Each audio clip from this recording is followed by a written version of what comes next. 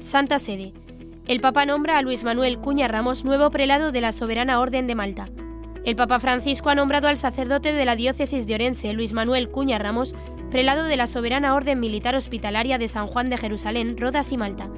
Ha trabajado en el archivo histórico de la Congregación para la Evangelización de los Pueblos, como consultor del Dicasterio para las Causas de los Santos y archivero y delegado para el Patrimonio de la Diócesis de Orense.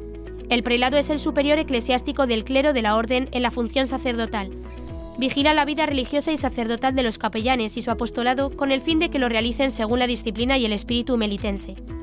Asiste al gran maestre y al gran comendador en el cuidado de la vida y de la observancia religiosa de los miembros de la Orden, y en todo lo que concierne al carácter espiritual de las obras de la Orden. El prelado es nombrado por el sumo pontífice, que lo elige de entre una terna de nombres propuesta por el gran maestre, previo voto deliberativo del soberano consejo.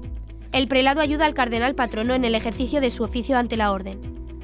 La Soberana Orden de Malta es una de las más antiguas instituciones de la civilización occidental y cristiana, como orden religiosa de la Iglesia Católica desde 1113 y sujeto de derecho internacional, la Soberana Orden de Malta mantiene relaciones bilaterales con más de 100 estados y con la Unión Europea.